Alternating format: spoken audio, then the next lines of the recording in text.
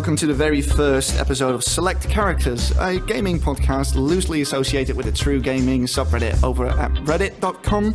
Uh, join us, we have a lot of good conversations and discussions about what games are, who games are, why games are, where games are, just games in general. Uh, what we're going to do in this podcast is we're going to talk about video games. We're going to talk about the implications they have on on our lives, on our culture. Uh, we're going to be talking about game mechanics, and to do that, I've got two willing accomplices with me here today. I've got Samuel, who's a board game enthusiast, and I've got Enrique, who uh, works at a gaming startup and who is a games journalist. Hi, guys. Hey, Chris. How's it going? Oh yeah, how are you doing? Just fine, just fine. All right. Doing good. Happy to be here. Yeah, you looking forward to it? Very much. All right then. So today we've got a couple of uh, topics coming up, and we're going to be a bit topical. We won't be doing that too often. Like, it's not really uh, our plan to do new stuff too often, but every now and then something will pop up, and we will want to discuss it. So today we've got open worlds. Um, we want to talk about multiplayer and asymmetrical multiplayer and paid mods because yeah that's been a been a subject of much contention over the past week. So that uh, all, all of that and maybe more is coming up right about now. All right um so because every gaming podcast does this um and we we are a gaming podcast so we might as well do it um i want to talk about what we have been playing over the past week or so and I'm going to start off by uh, saying that I finally bought GTA 5 on PC. I um, Woo. yes, I uh, I played it on the PS3. It was it was a great game then, but it's even better now. I mean, the graphics are fantastic. Uh, it's a solid 60 FPS on even my system, which is not the best system out there. It, it, it, it's just a really good good game. The world's amazing. The characters are really well thought out. Uh, the radio stations this time around are better than ever. I think, especially the um, the chat radio shows. They're, they're absolutely oh, amazing. Those are great. Yeah. Yeah. Uh, I think Lazlow does them. He, he, he does most of the. Um, of the dialogue, he writes most of the dialogue. He has been doing that for years now, and he and he's so good at it. And it's even fun, uh, funnier now that he's an actual character within uh, the world. You actually meet him at some point, and he is just a, a, a great version of himself. Really, it's it's such a good game. I'm uh, I'm glad it's out on PC. I'm kind of glad that it's not just a port, which was I think something a lot of people were afraid of. Yeah, well, it's it's not. It's got a wide array of options. I mean, you can tweak it to your heart's content, and it's been built from the ground up, I believe, and it really shows. It really shows. That's what I've been waiting for. I didn't play it on any of the consoles. I figured I'd hold out till PC, so my moment is coming. Yeah, um, I, I, I can I can really recommend this game. It, it's fantastic. It might be I would even, yeah, I would even go as far as to say that it might be one of the best games of all time. Just the amount of detail in in the world and in in everything from from the music to um, to the way the cars look, to the way that pedestrians react to your actions. It, it it's amazing. It's absolutely incredible. Awesome. Mm. So, um, who wants to go next? Yeah, I'll jump in, I suppose. All right, Samuel. I have been playing a little bit of Ziggurat on the PC. Mm and it's a procedurally generated first person shooter right. where you are sort of a wizard who's trying to climb this tower or this ziggurat and every floor is kind of randomly generated and you have four weapons and three mana pools and you just sort of work your way through this roguelike like like trying to get as high as you can before you die mm. and i realized that i am not cut out for fps games like i used to be i i thought that this I would just sort of wanted to play something like that, and it moves a lot like Quake Three does, with where kind of like one to one mouse movement, and you can turn around extra super fast. Uh-uh. And I don't have the reflexes that I used to, but it's fun though. Still fun overall. Uh, is it That's is about... it free to play or? Uh, no, it costs money. Uh, how much? It's a it's a whole contained experience. Oh. I, I was messing around with Tower of Guns a little bit, which made me think like, what other procedural first person shooters can I find? Ah, I still need to play that. I, it's free for PS Plus members, at least in Europe. So I, I, oh, really? Yeah, I still need to get around to, to playing Tower of Guns, but I've heard good things. Yeah, it's pretty groovy. All right. Then. I like it a lot. Mm. All right. So, Enrique, sound uh, off. Speaking of uh, roguelikes, I'm actually playing one by the name of Sunless Sea. Oh, uh, yeah. It's kind of cool. It's like this gothic, you know, Victorian underworld kind of setting, and uh, you pilot a steamboat, and you basically, you know, travel around trying to. Uh, you have to manage crew, survival, terror, insanity, supplies. It's it's pretty neat. Um, I'm at a point where my crew just turned to cannibalism, and we've been slowly eating each other, uh, just for the sake of getting. Like you do. Yeah, you know, gotta do what you gotta do. But um, it's pretty How cool. would you compare it to FTL? Um, it's definitely more in depth. Um, it's got a really, really fun story written by it, which is probably one of my favorite parts. Um, as fun as FTL is, the story's kind of lacking. You know, there's a lot of humor and just like the random events, but that's it. This has, uh, I guess, an overall narrative, and it gives you a couple different win scenarios, which is kind of neat. I think uh, my motivation for my character is uh, I want to write my masterpiece. So for that one, you I basically travel around, um, completing all these little quests, and I can kind of collect mas- I guess master stories from them, and eventually I can come back home and I can retire and write my masterpiece. But I have to have a certain amount of adve- you know experience before I can do that. So it's kind of neat. Oh, that's interesting. Is it tied to the character you pick, or you randomly No, get yeah, no. It's uh, you you get to pick a captain. You know, you get to design him a bit. You pick like where he came, from, like where he or she came from. You know, what your motivations are, what your dreams are. So it's it's a pretty interesting method, and um, they kind of warn you that your captain's gonna die because uh, it's you know it's one of those hardest balls games. So, but it's pretty cool. I, I, lo- I love the anything? I love the aesthetic. Yeah, that's actually what drew me to it. It's got that you know the whole Lovecraftian kind of feel to it, which is really really fun. Yeah.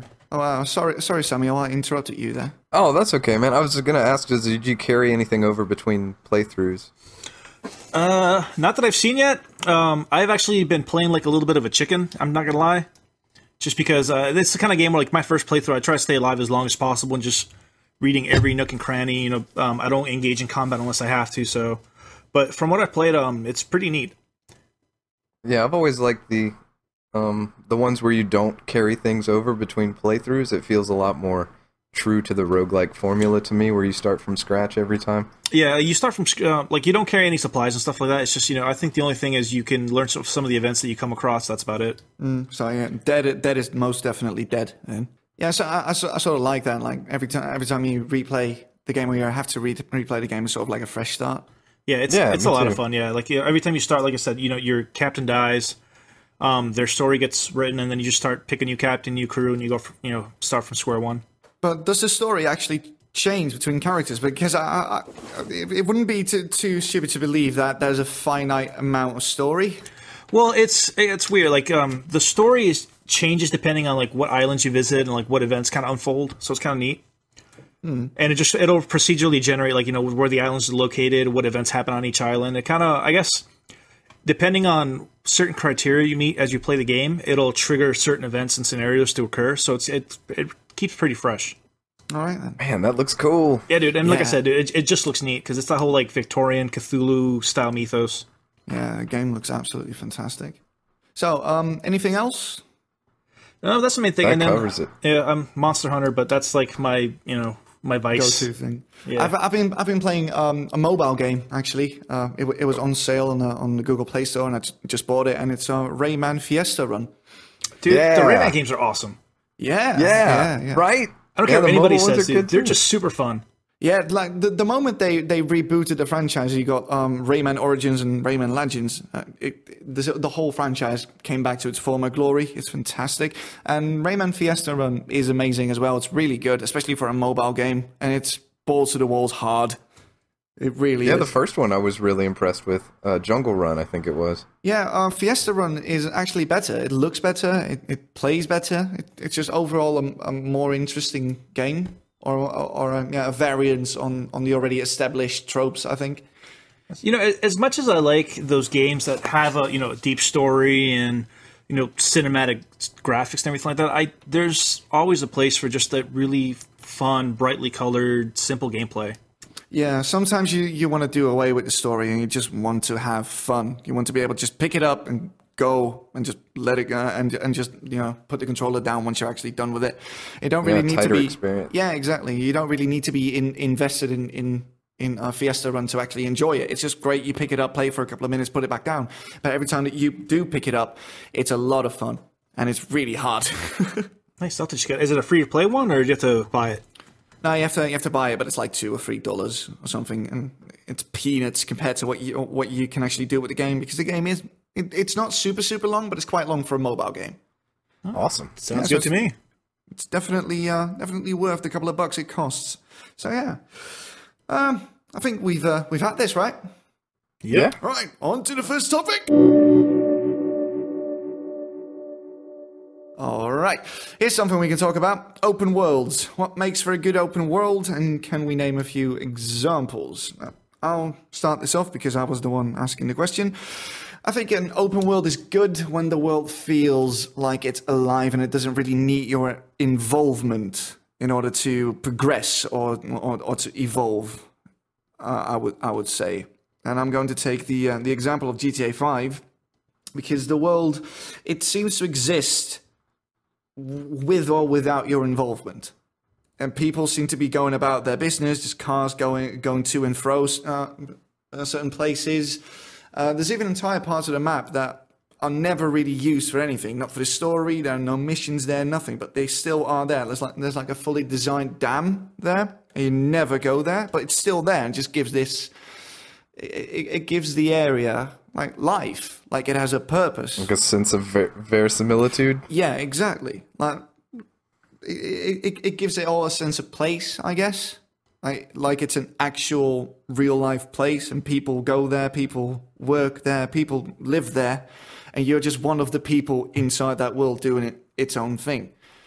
And I think that that is a good open world because it, it feels alive, basically. Just like you're a visitor to a place that kind of already was there. Yeah, exactly. You, you, you've got uh, Borderlands 2 has got an open world as well, but th- that one doesn't really feel alive. It's more like of a theme park. You know, you spawn somewhere or you go to to a specific place there, and enemies will spawn and they will attack you. It doesn't really feel like those people actually live there. It's more like oh, it's a it's a nice locale. It's a nice backdrop to do your killing in, but it's not really a world as such. Yeah, it's like a level of detail kind of thing. Yeah, exactly. That's weird. I'd almost say it doesn't necessarily have to be like alive, Um, because this is actually from another thread on Reddit from our games. Uh, they kind of discuss like what games you know you consider works of art, and um, the top one was Shadows of the Colossus, and for me that was a perfect example of really good open world, even though there was nay like a living creature in that world. I think it's just because they kind of give you this sense of ex- you know exploration, discovery, where Yeah. You know you can climb the mountains you need to. You can you know leave your horse behind. You can go underwater. You can swim. You can you know it, it doesn't really stop you from exploring any particular area. And it's so vast. It's it's kind of like that you know the idea of man you see like that canyon over there? I can go there. And it really does make it feel Yeah. you know very open and you know like, like you have like almost unlimited freedom.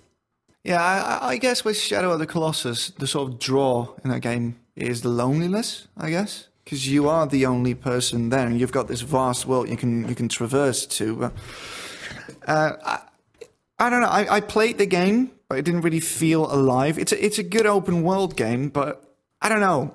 no no and i agree it doesn't feel alive Well, that's but the yeah, difference, exactly. right? That's- You're you're talking about open versus interactive in a way. I, I, I, I guess what I view as open worlds are are also worlds that feel alive and immersive. i- In in that it's active, that stuff happens, and I don't really need to be a part of it in order for that to happen. Uh, see, for me, uh, when I think of open world, I think more of a, I guess, a world where I feel that I'm not really limited in any scope. You can just, uh, That's the clinical definition of open. yeah. I, I I don't know. Do- do- Does that mean that a game misses character when there is nothing in it except space? Well, and it's weird because, like, okay, you brought up Borderlands. You know, I don't personally consider Borderlands a good open world game, and mainly because of the way that it's sectioned off. Um, granted, you know, you can go back and forth to you know through different areas, but I guess for me, the fact that there's those checkpoints and zoning areas and quick travel, it it almost feels like it takes away from the sense of openness that the world should have. You know, there's no consist- consistency throughout. Yeah, it doesn't feel vast in, in any way, shape, or form. Like, I said, it, it's just a backdrop. You, you, can, you can go wherever you want, but in the end, it's still a backdrop. It doesn't really do anything besides that, but besides just being there, I guess. Yeah, like an overall level of, I don't know, like confinement, but not as far as range of motion, but confinement as far as what you can do while you're there. Yeah, Yeah, exactly. So I don't know, man. I I'm not generally a fan of the open world games. I I like to have very clear objectives and things to do. And so you like so you like linearity. Yeah, I'm horrible at making my own fun. I, Are, are you like one of those people that when you're presented with like a vast, you know, area of choice, you just pick nothing? Oh, Probably, yeah. Or what I'm saying is, you know, you made this world. Now give me something to do in it because I want to, you know, I want to experience the the thing that you made. I don't really want to make my own terms about what I'm ah, supposed to yeah. do. That that that reminds me actually because I could never get into Skyrim, right? I, I know it's Right. a good game. I, I, I know it, objectively it's a pretty good game. Buggy, but it's really good. But it's one of those games that I can't get into because one, the world is really vast, and two, there's too much to do.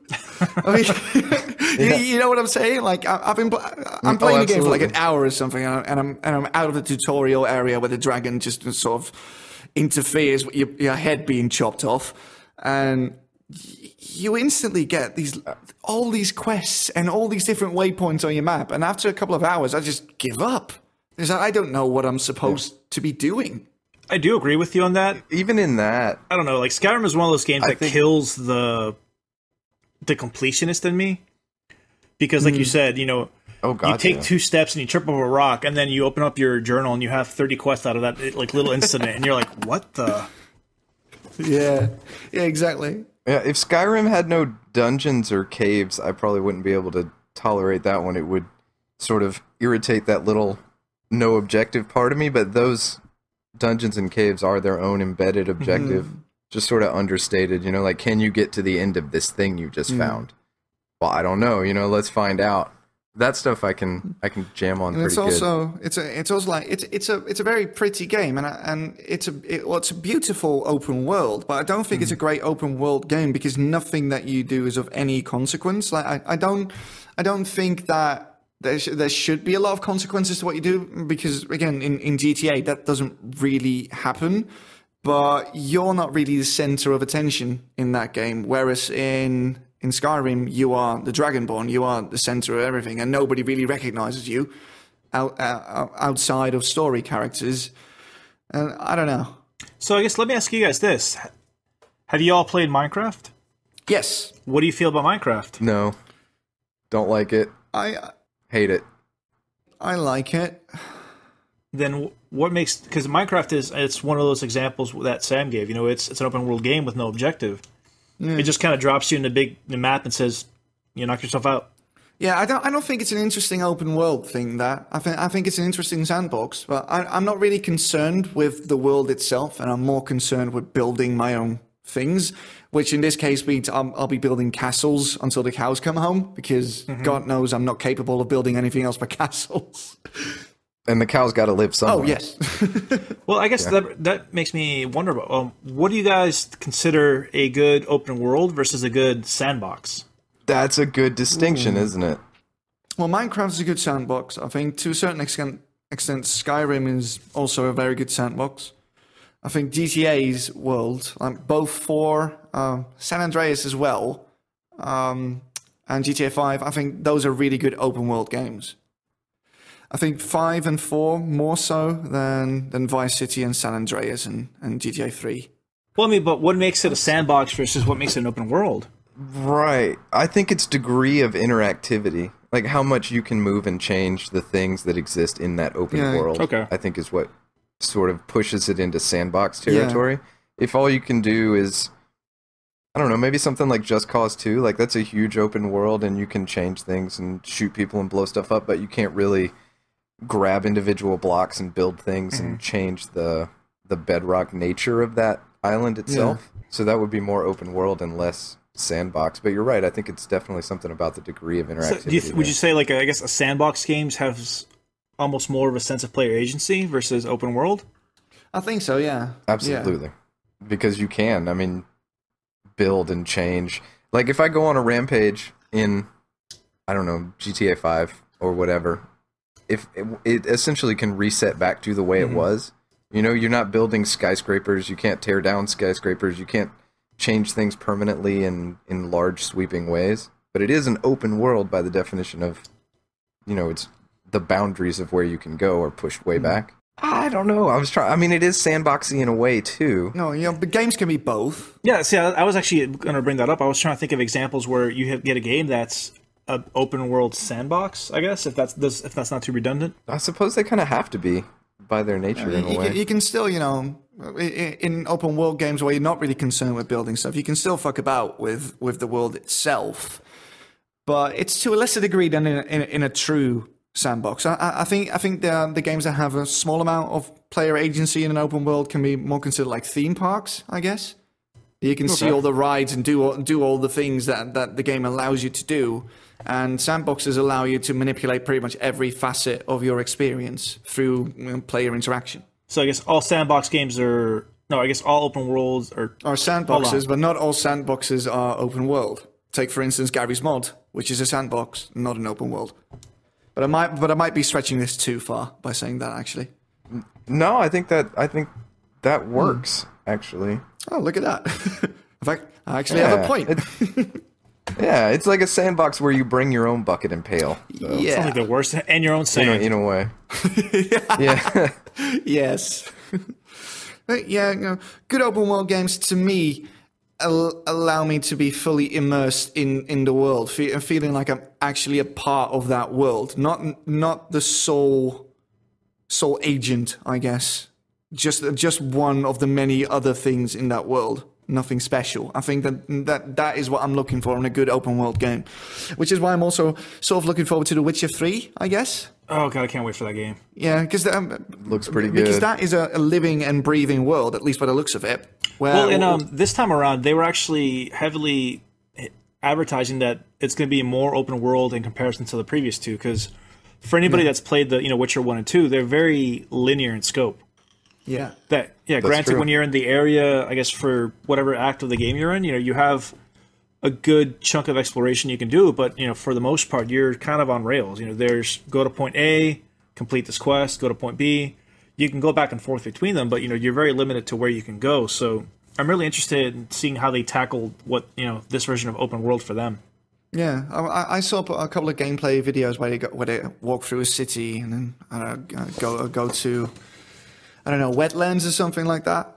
Yeah, And it, yeah, it, it just felt alive. It like the city felt lived in. Uh, all the NPCs seemed to have a purpose, and you know, they they seem to be going somewhere. Seem to be actually doing something. They noted you, but you weren't really important to them, and that is what I think is important for an open world. So you're just a part of that world. You're even even if you are something special, you're not really something special in the eyes of most people who don't know who you are, which I think is good. Yeah, I think it, at least from what I've seen of The Witcher Three, it's got the open world stuff without being sandboxy, yeah.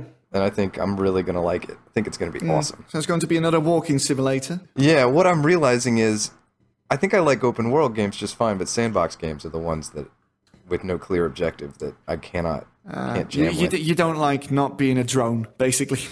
right yeah well when like you know when i sit down to play a game i think of it as the developer setting it in front of me and saying here's a puzzle or here's a challenge or here's a really cool story that i want to tell mm-hmm. you.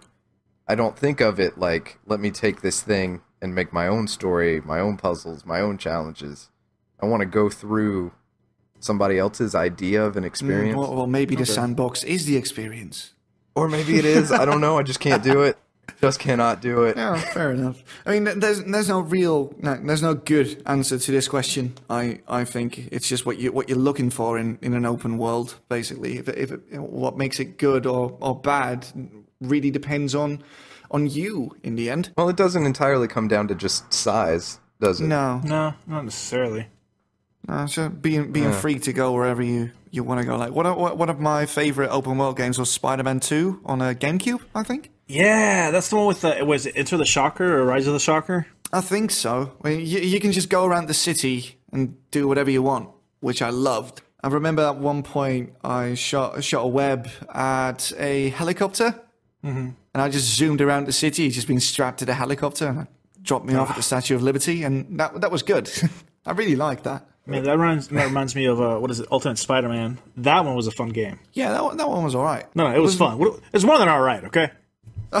Oh, I'm sorry to, that I offended your sensibilities. You you offended his spider sense ability. Spider sensibilities. Look at this guy over here trying to debate subjectivity. no, but uh, no, I I I think uh, you're right though. It, it's definitely more to do with like the actual, I guess, experience you get in the game rather than the size. Because if I remember, the Shadow of the Colossus map is actually really was relatively small compared to what we get now. And I mean, personally, for me, I consider that one of the best open world games that I've played. Which one? It was expansive. It was. Yeah, it was a good game. Well, here's the thing though, because it's mostly in the city, right? So I, I don't know. I still it still feels boxed in. What to Shadow of the certain degree. Colossus? No, no, no. Um, Spider Man. Oh, oh, sorry. Sorry, should I should have made that clear. No, no, no not Shadow of the Colossus. uh, Spider Man, even though it was open world, it sort of I always felt boxed in. Yeah, but I mean, it's like like it has to do with the scope, I think, too. Because even though you know mm. with Spider Man or even GTA, like it's you're just one small character against this massive backdrop of you know other people, cars, cities. So Yeah. even though you feel boxed in, like you said, you know you can latch onto a helicopter and you can really take in how small you really are in comparison. Mm. Yeah, that's true. Yeah, it's not even geographic pure square footage. It's your how how you feel big it is, like your perceived square footage instead of the actual square footage. Well, there you go.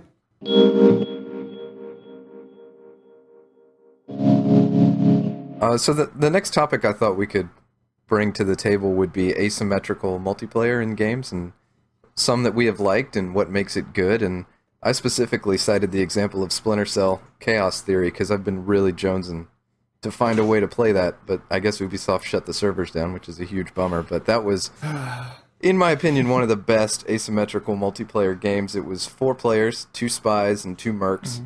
and you would go into these mm. maps, and the spies had to hack terminals, and the mercs had to basically stop them and shoot them. And the way it was really interesting was that the spies played in third person stealth mode, and your mercenaries played in first person mode. And It's basically two different games. yeah, exactly. That's it's asymmetrical to the extreme, and it had a lot of really interesting, skillful elements. Like as a mercenary, you know, you could shoot a frag grenade into a vent mm-hmm. and like hoop it, and that felt really good. And as a spy, you could grab the mercenaries and break their necks, so you had that moment of surprise and everything. And I think it was asymmetrical multiplayer just done really well, and there were all these weapons and gadgets, and just mastering single maps took forever. And what was particularly interesting is it's asymmetrical multiplayer, but balanced in a way that doesn't involve numbers or something like that. Like if you look at maybe StarCraft, where you have your different races and factions, they're balanced on a a series of variables, like how much damage a thing can do to another thing. And this hmm. didn't have that. It was just abilities balanced against other abilities. And It was tense. It was so tense. it was incredibly tense, yeah. And it was also when microphones were just becoming a thing on Xbox Live, and you could whisper into the mercenaries' ears before you snap their necks and tell them that their hair smells great before you send them off into the great beyond. It was just a really amazing game, but it's also really hard to get asymmetrical multiplayer right. So I thought, you know, maybe we could. Yeah, and be- and be- because both groups are at a disadvantage.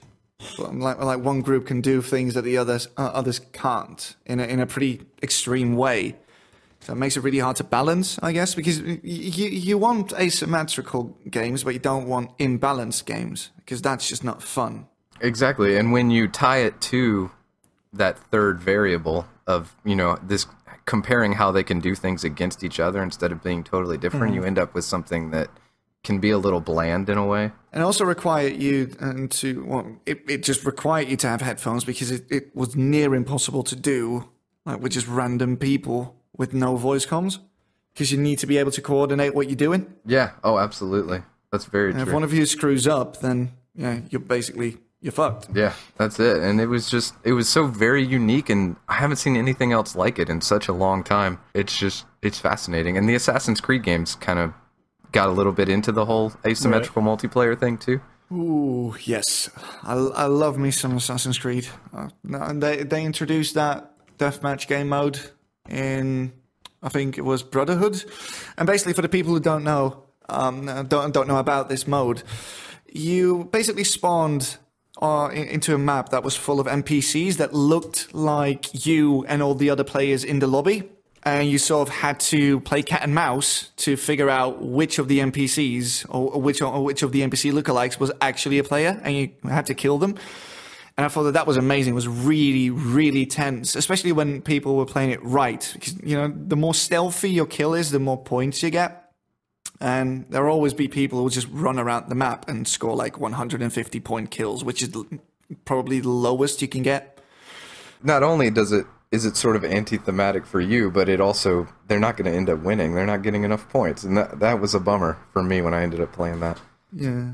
It, it was really good. You, you could you could get specific power ups, you know, to change into a different NPC for a, for a while. So the uh, so the guy who had you as a target couldn't really find you because you didn't really look like you anymore. It it it made for a lot of intense games. Plus the games are pretty short, usually around 15 minutes, something like that. So it was pretty quick fire and it was pretty frantic because you didn't have a lot of time to get a lot of kills in and yeah, it was amazing. They they removed it in Unity, and I'm still salty about that to this day. Yeah, it was what was so clever about it was that you were trying to track somebody, but at the same time, somebody was always tracking you. Yeah, you're always looking over your shoulder. Yeah, it's so tense, man. Or the time, like if you'd get it wrong and you'd stab somebody, and then you're like, "Oh crap, that was just an NPC," and then you know you're dead in the next ten seconds.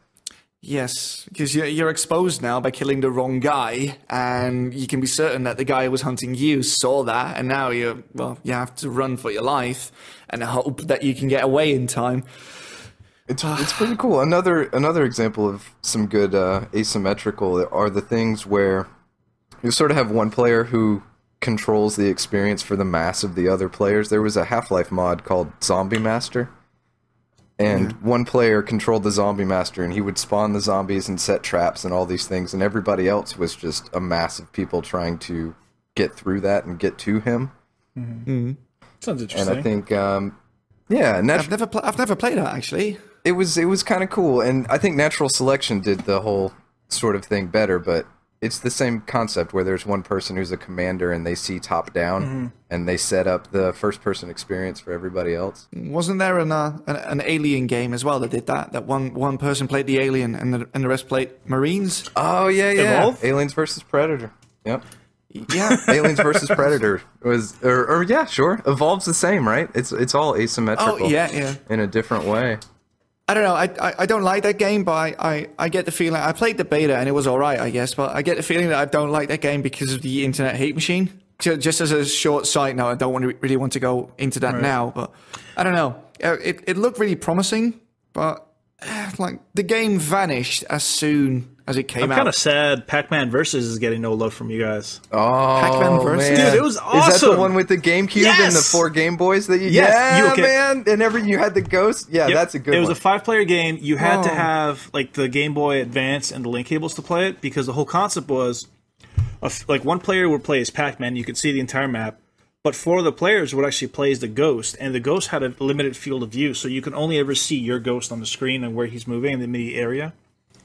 So and then it just played like a regular Pac-Man game from then on out. So it was actually really cool. Oh, that sounds awesome! I never played yeah, that. It was awesome, but I mean, yeah. like, it was it was kind of really good. It was kind of convoluted to set up because you know, like Sam said, you needed to have four Game Boy Advances with like the link cable and the GameCube to play it. But it was, dude, it was awesome. Link cables. It was probably one of the first experiences I had with like asymmetrical multiplayer. It was actually a lot of fun. Yeah, that game was a hoot. It was a lot of fun. There's an arcade machine that's like Pac-Man versus now. I think I saw it at Dave and Buster's, but you're it's just four Pac-Man on the same screen. It's totally different. Oh man. Mm. It, yeah, it's not as good at all. Yeah, I need to see if there's close, like an emulator for that and like somehow recreate it. Mm, I need to get myself a Game Boy Advance. Just fight, you need four fight this game. Yeah, but it's worth it. It's it's it's a hoot. And I remember it wasn't. Was it just like an extra game on the disc? I think too, so because right? it, like it, it was like on the like uh, it came on one of the Namco collections or something like that. I don't think it was. yeah, it was like game. a side story when it should. They really buried the lead on that one. I think. Yeah, mm. uh, yeah, but it was a lot of fun. I mean, that's when people mention asymmetrical multiplayer and the whole you know, like f- like four or five players. That's the first game that pops to mind because it was so it was so simple, but it was so enjoyable. Mm. There's actually a new uh, a new game coming out that is very asymmetrical, and that is um, Fable Legends. I'm curious about that. Can you tell me a little bit more? Um, well, it's four heroes. It's, it's a five player game. Four heroes in a team, and one is a villain. Each role may be filled by a player in uh, online multiplayer or by AI basically. So the uh, the villain is basically a dungeon master. He decides where to spawn like creatures and stuff like that, spawn traps, and the four other players have to get through the through the level to beat him basically. And I, I'm not entirely sure if this game's got a story or any or anything like that, but it's coming out on uh, Microsoft Windows. I'm thinking Windows 10 because it I think it's a launch game for that. Great. And it's coming to the Xbox One as well, and it's cross-platform multiplayer as Really? well. Finally, That's good. Yes. More players is Finally. always a good thing. Yeah, uh, and, and it's going to be free to play as well. So, you know, I don't fully trust Microsoft with pulling off a free to play game, but then again, you know, I'll reserve judgment before it actually comes out. But it seems interesting enough That- to me. I would, I would, I would, like to team up like for my, my buddies and let another friend play the villain and, and just play that because it seems That sounds awesome a lot like me. that uh that D and D style game that's supposed to be coming out, where you know you have four. It's like an ARPG where four players are the heroes, and then one's the dungeon master that gets to set up where all the monsters and traps and stuff are. That's a really difficult form of the one versus many form of asymmetrical multiplayer is really difficult to pull off. There's board games like that. Like there's a game called Descent where you have four heroes and one dungeon master. And when it's a competitive thing, it becomes very tricky. Everybody has to really know how to play their role. Mm-hmm. Yeah. And then you have to obviously make the one person more powerful because they're playing against the many, but also not too powerful that it's really tricky to find that line. Yeah, it's going to be uh, go- going to be hard to balance something like this. But you know, uh, I've seen a couple of videos about this. I think um, oh, what, what was that YouTube series called? I think it's Extra Credits. They did a couple of videos videos on that, and it seems interesting enough. Like if, if you if you haven't seen it, go go watch it later after you, you you're done listening to the podcast. Uh, it seems interesting enough, and I'm always up for some asymmetrical multiplayer because I think it's something that is not used often enough, and more often than not, when it's actually used, it's not used well. So, for instance, um, in Destiny, the death matches there, they are asymmetrical, but you're kind of out shit out of luck if your gun is less good than some other player. And I don't think that that is the right way to incorporate asymmetrical multiplayer because it's not fun. You, you get no chance of winning if someone else got a stronger gun than you have. So, yeah. But yeah, I'm looking forward to Fable Legends. Seems like something that is uh, relevant to my interest. So Yeah, anything like that, man. One versus many is where it's at, but it's really hard to do. Hard to do right. yeah, exactly. And in uh, and in the spirit of wanting to play more um, more Splinter Cell, uh, I'm I'm asking uh, Ubisoft to do a remaster of that and reopen the servers because I hope so. I want to play that. Yeah, man. It's it was a product of its time, and it was very unique, and I've been nostalgic for it for the last. And uh, for in the about the last two week. in the in the past two years, well, if the past two years have, have been any indication, uh, Ubisoft likes money. U, Ubisoft likes easy money. So make this happen because I will buy it and I will play it with Samuel. Yeah, we will. All right. Well, this next topic uh, is kind of a summary of events that's happened in the past few days. Um, back on April 23rd, Valve and Bethesda got together and they instituted that paid mod model, which met with a lot of community uh, backlash to the point where even Gabe Newell had to go on Reddit and you know address some concerns. But lo and behold, it didn't last long since the paid mod actually got removed. But it kind of brings up the question because Valve had a really interesting, I guess, approach to it where they said that their mentality was they were looking at examples from games like DayZ and Dota 2 where they start off as mods and eventually the team got to a place where you know they could actually work on those projects full time and make them full games.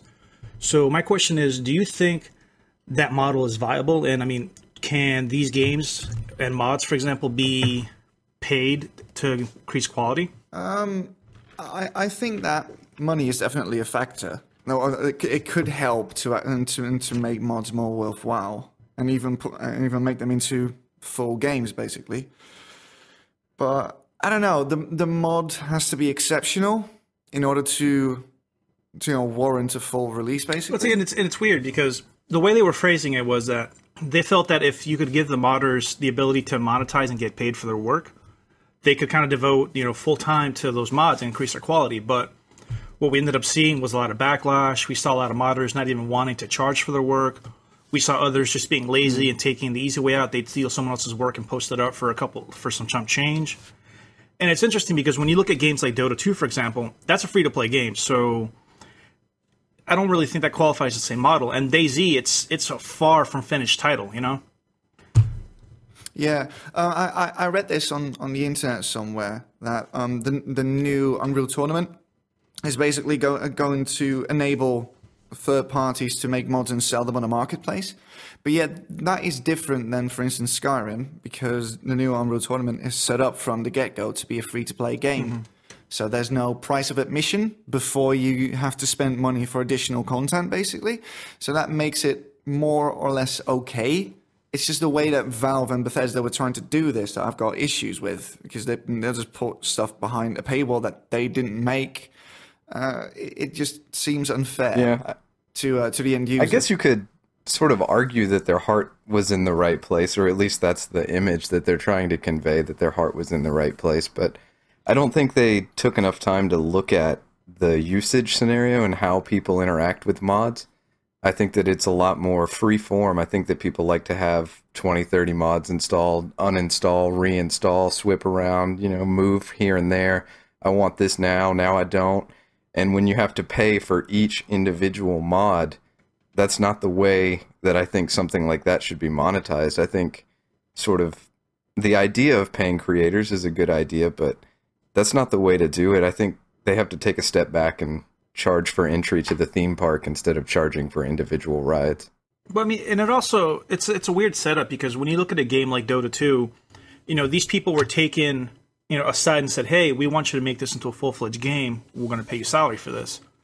Whereas Skyrim, I mean, these are individual mods. You know, they're not creating a game; they're just adding to the experience. So, should should they be charging for a couple hours of gameplay or for a couple weapon skins? Weapon skins definitely not. A couple of hours of gameplay, it's debatable because most official DLC is just a, an extra couple hours of story or an extra couple of gameplay or, or, maybe some new mechanics thrown into the mix for good measure. Uh, I don't know. But the, the number of hours that they put into that stuff, I don't know how you like how do you equate the the hours put in on something like a quest versus the hours put in modeling something like a weapon as far as what that's worth in actual monetary value? that's sort of a tricky question. Mm, well, I, I think like weapon skins or extra weapons, I, I think they take less time to make than entirely new areas or new storylines, new quests, stuff like that. So I, I, I think like total conversion mods, for instance, I think those are well worth the money to play them. Weapon skins, mm, debatable. Right, they're a little more. They don't change as much and perhaps easier to make. I'm not sure. I've never actually modeled anything, so I don't know how much effort is required to do something like that. Uh, my, my brother, he works in design and he has dabbled in game design, and, and making a model takes an insane amount of work, especially if you want to do it properly. So I'm, I'm not contesting that it, it costs you less effort to make something like a weapon or something like that. I'm just saying that they don't have as much of an impact on the game as a new map or a new quest line or, or, or even a new fully voiced character with with his own storyline will. I mean, I mean, so you're saying that I guess those people creating those weapon mods shouldn't get paid at all? Uh, it, it, it it's it's tough. It's the same amount of hours, but it has in a way a less perceived value to the end consumer. Like you don't yeah. think you're getting as much out of it, even though they're putting in, you know, a ton of work to make it but the effect on me and my game is less compared to something like a total conversion. So like when I'm right. voting with the money I want to spend as a consumer, that's what I see. Like how much is this going to impact my game? And then that sort of attributes an amount of money that I'm willing to spend.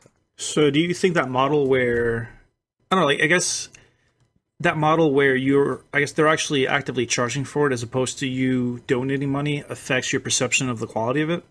So let's say you have, you know, two mods side by side. You have, uh, you know, a basic skin mod that adds a couple different looking armors, things like that, versus, you know, another mod that adds about 20, 30 hours of gameplay.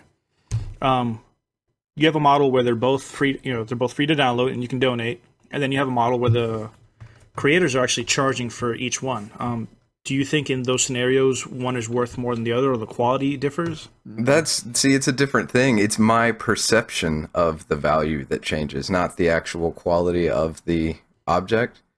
Uh, what changes is the price that I'm willing to pay, and I'm willing to pay less for a, a weapon skin or something like that. Yeah, c- cosmetics inherently seem to have a lower value to the end consumer. And I mean that's the thing because that guy could have put you know a thousand hours into making that sword, but to me as a person playing a game, it just doesn't.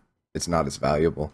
Mm. And to to, to um, jump back to, to the question is what monetization e- equate to better quality? I think yeah, if if someone's salary is on on the line. Like if if the sal- salary hangs on their ability to create and maintain a certain level of quality in the content that they make, and yes, I think them getting paid would be beneficial to the work that they do because they've got a stake in it now. It's true, but it also moves the finish line or it moves the ultimate goal from being sort of something you make out of love to something that you make for a profit and that might introduce sort of a seedy element to it. People who just make things to get the money out of it, and you could Oh, well- even be a create a drop in quality or a rush in of a large amount of lower quality things. Um, I, I, I, I I think that you might be estimating the intelligence of the average consumer is too low because I don't know if, if if you see a very lazily made thi- uh, uh, mod somewhere like whether it be a new weapon or a weapon skin or even a skin for your player character and you see that's not that high quality would you actually pay for that i don't think you Yeah, would. that's true. But I think it also because the way the model had, you really had no way of telling the quality of it until you actually installed and ran the mod, which was a big issue. So even mods that looked like they were going to add a lot of content in terms of like, oh, you know, new armor or new areas to explore, and they could end up being broken, jumbled messes. But because of the system in play, mm. you you really had no way of knowing until you tried it. And even at that point, true, you could get a refund, but you were banned from installing another mod for the next seven days. Oh yeah, yeah, I saw Yeah, I think they're fixing And that. The, the, the whole the whole way that they implemented this system is just wrong. It, it, it and the way that they um, like they backtracked really quickly after they saw the backlash, which makes me think that they didn't really think this through before they them before they implemented mean- this. Because it is a very flawed Yeah, system. and, and again, I mean, they were basing it off their success with you know IPs like DayZ and you know Dota, where they were games that started off as mods of other games, and they're like, hey, you know, if we can kind of adapt this paid model for creators, it'll increase their quality, which it didn't transfer well because uh, you know partly and due because of the culture, because you know people are used to the Steam Workshop mods, they're free. You know, it's everyone's working towards a common goal of, hey, you know, this is a fun experience. Let's see what else we can add and it like Sam was saying, it creates this weird element where I guess you're almost putting the cart before the horse, where you're paying these people in the hopes that they'll put together a fun mod or that they'll continue making a fun mod. Yeah, he- here's the thing though. They're, they're not. Well, they are paying them, but they're paying them peanuts. Like a, a Well, actually, I take that back. In in They're not paying them; we're paying them.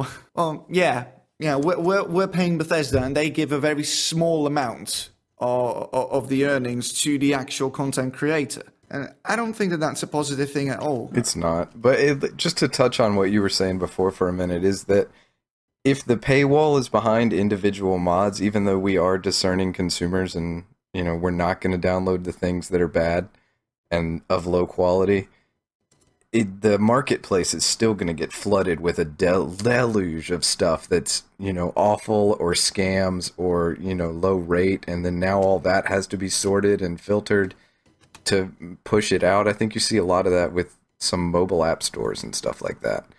And so Yeah. to avoid that, I just I don't think I think that was their big mistake was putting the paywall behind the individual mods. It needs to be like one level up. It needs to be the paywall should be for workshop access. I think that that takes all the mm. problems away from your you know copyright claims and this doesn't work and broken things and all the support issues and refunds. Mm. Oh yeah, the the DMCA claims that, that people got on the store that that was like everybody saw that one coming, and I I- just wonder how how Valve couldn't see that coming. Like some random person uploaded some some mod that he did not make, and it was based off of copyrighted content to the workshop and, and charges money for it. I mean, th- th- this is copyright 101. You just don't do that. And you have to make sure that you've created an environment that makes it harder for people to, Uh, well, to infringe on, on copyright. And they haven't done that. You'd think they'd have a, a pile of usage statistics, right, for everybody that had Skyrim and how they've interacted with the workshop and what they've done with the tools available to them. Oh yeah, they do because they are they are a, a data driven. That's what you would think, but you'd think if you were looking at that data that they would see that this model is just not going to work because people install a hundred mods from the workshop. You know, they're not going to spend a hundred dollars, and they don't have that many trading cards to sell to buy that many mods. And that they change around all the time that people subscribe and unsubscribe from things at a at a huge rate. I think bethesda just wanted to do this because they're, they're, they're done selling their game by now. I mean the game is like three or four years mm-hmm. old now and they see that people are still making content for it. People are still actively engaging with that third party content. And they just wanted a piece of the pie. And the only way they could think of doing that was via doing this. This is of, of course just what I think. It doesn't have to be this way, but it seems the most logical reason why this came out of the blue. You know, you do raise an interesting point, though, because um, for all the talk they said about, you know, they want to encourage and reward modders for their creations, this wasn't being done out of their own pocket. You know, they were making it so the community was the one that was going to have to foot the bill for this, and they were getting a profit out of it as well. Mm. So, uh, they're the biggest part of the, pro- of the profit that is the most unfair thing. This is not good for modders. Like 25% of the earnings is not good for modders. That is good for Bethesda. Valve gets 30 and the modder gets 25% and Bethesda gets the rest. That's not fair towards the modders at all. So I don't I don't see how this could have been a positive thing for modders. Yeah, it seemed a little disingenuous for them to say, "Hey, we want to reward modders, but we're going to do so after we take our cut and we'll give you whatever's left over." Yeah. We're first going to reward ourselves, and then we're going to let you share in that for a little bit.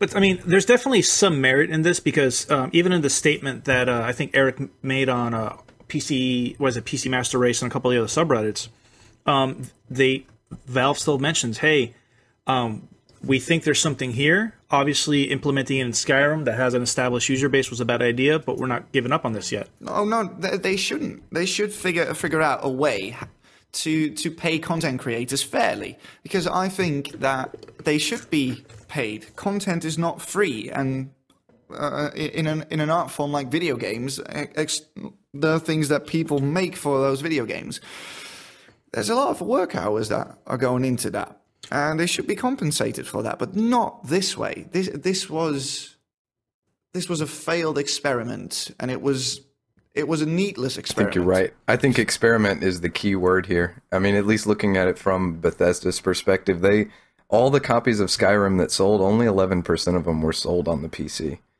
So I th- I mm. think that at least as far as monetization, their goal wasn't to make a bunch of money on Skyrim mods. Their goal was to make a bunch of money on Fallout 4 mods or whatever the next, you know, Elder Scrolls game is mods and they just wanted to see if it was viable and hopefully they've been shown that uh, in the current iteration it is not. Ah, so th- th- this might be a way for Bethesda to get a bit more revenue out of the PC market. I think they were dipping their toe in the water. I think they wanted to see you know, sort of what might happen if you were looking at it from Bethesda's perspective, because the bulk of the money that they make on that game you know was not the PC market. Yeah. Well, and see, right. as a consumer, I I might get crucified for this, but I don't think it's necessarily a bad thing because I'm also thinking about long term where let's say that Bethesda and Valve managed to find the sweet spot where you know the consumers are okay with paying for access to mods for existing games.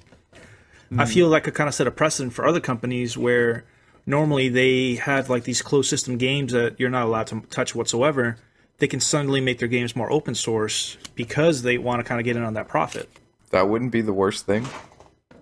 I'd, I'd be willing to spend small amounts of money on mods if it would create more of a situation like that where more people were making mods and better mods and games that didn't have them previously now had them. But I think the result of this experiment is that this isn't the way to do it.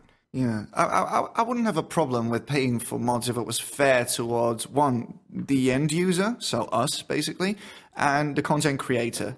That if it was fair to those two parties, then I would be absolutely okay with it. I'm sorry. What kind of model would you like? Uh, would you prefer a more donation thing where you, as a consumer, could decide how much you want to give them, or Yes. some kind of subscription model?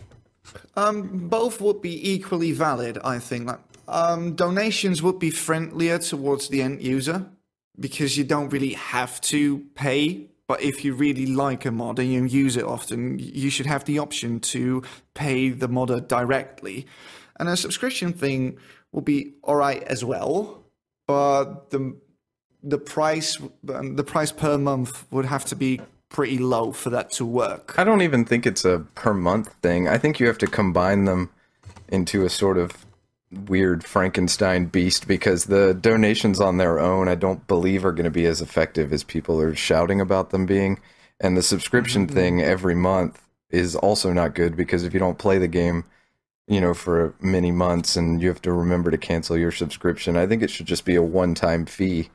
Like $10 That gets you you can download 20 mods at the same time and if one of them breaks you just uninstall it you switch to a different one and then that's fine. And then you could pay $20 and get unlimited mods forever. And the key is the the way the donation part comes in would be that that price of a ticket would then translate to a certain amount of gems or something you could spend only in that workshop for tipping mod creators so that they they could get paid because there's nothing else you could do with those and then also Valve and Bethesda get paid, and we as consumers don't feel exploited. And I think that might be a good compromise. Yeah, I think that that will be a good idea. Just just pay once, get access to everything. Uh, w- would you want to see that for all games, or you have to pay per game? I- guess it would have to be on an individual game basis because of the way the publisher cut shakes out. If the if there was Ah, a game that you know you wanted to mod from a different publisher, you couldn't just pay for workshop for everything. I don't think. But I mean, it's going to be something like that. I think that the way things are, like they're starting to test the waters of changing this, and that we can never go home again. Like we're never going to be go back to totally free mods all over the place. It's going to be something different. If nothing else, it's going to be a tonal shift because people know that this did happen at some point in the past. And Uh, it's let's not. Oh, no, sorry. go ahead. No, no, I insist. No, I would say just to piggyback on that. I mean, and it's going to happen, like you mentioned. The new Quake game is going to rely on that microtransaction for user-made mods. So Uh, Unreal. But Wait, yeah. sorry, yeah, Unreal, and it, this is in, inevitable. Like it's going to happen. This is just, I guess, we saw kind of the almost the worst case scenario of what it could be when it's implemented incorrectly. Well, I, th- I think the way that, that the guys behind Unreal, uh, Epic, I think, Yes. Yeah, I, I think that they're going about this the right way. Their game is free to play, but third party content costs money, and that is the way how they are going to make money, which is a bit fairer, I think, because there's no price of admission to the base game. You can play that for how long you want, how often you Yeah, want. sure. But if you if you want more, pay, and that content is made by other people, other people just like you. So yeah, you'll be financing other modders to keep on doing what what they're doing, but you didn't have to shell out initially to play that. Yeah, game. that doesn't seem It's too just- bad. Yeah, just if you want more, you can buy more, but you don't have to. That, and that gives you gives you the consumer choice, and choice is important. Very important. But this is the, you know, this is the start of something. They're going to push, and consumers are going to push back, and then they're going to push a different way, and we're going to push back, and eventually, it's just going to settle out somewhere in the middle with something everybody's happy with. But we just got to go through those motions of building and destroying before we find something that works for everybody. Because I agree with them. I think that there is a model out there that everybody can be happy with. Yeah, and ju- ju- just just so we're clear, none of us are, are against the idea of mods costing money, but we're all against the idea of how they are trying to monetize their content now, because it's just not fair. Yeah, I think people should people should get paid. I've I've played some really really fun mods, and I've made donations, and you know whatever. There's people should be paid for what they do, because some of Yeah, that stuff is really rad, and it's worth spending money for. Yeah, I've been playing um like XCOM. There's the Long War mod, which is fantastic, and it almost makes it feel like a whole separate game on its own. And you know, oftentimes you find that a lot of these bigger mods they proceed at a slower pace than you wish because simply these people have you know real life obligations, and if we can somehow soften the financial blow they take by you know investing more time in their projects, I mean, I'm all for it. That's the thing is that those mods have had donation buttons forever, and but they're still suffer from that issue of lack of financial flow where they have to do their real life stuff. So we we either need a social consciousness shift where everybody becomes more willing to spend money on these things, or we need a a soft hand to push people in the direction of spending money or donating. Hmm. Um, yeah, I'm, I'll be interested to see where this is going. Like, what, what, what the state of this particular situation would be in like a year or two. Something's going to change, that's for sure. It's definitely oh. coming. Oh yeah, b- because of this, we will probably never be able to go back to the way things were, and if if it might be for the better, it might be for the worse. I don't I don't know yet, but I think it's it's interesting. I think as long as the community still has an option, we'll be able to find a nice middle ground. You know, as long as Yeah. you're not told that you have to pay for these mods and that's the only way you'll get access to them, or as long as the community is not told that, you know, they it's either one way or the highway. Um, as long as you give the community a choice in how these things are carried out, I think we can at least give a little bit of leeway. All right, um, that's about all we have time for for today. But drop us a line. Uh, look in the description below uh, the podcast if you want to send us a message or you want to follow us on Twitter, you want to follow us on Facebook or whatever. We'll be doing this weekly. This was a sort of yeah, pilot episode, and we would really like to know what you guys thought of it. What what would you like to see in this podcast? What what didn't you like? What did you like? Just drop us a line. So check the description, and you'll see everything that you need to send us a message and to contact us directly, basically. So from uh, all of us here at Select Characters, thank you so much for listening, and um, we'll see you next week. Bye. Bye. Thanks, Later. guys.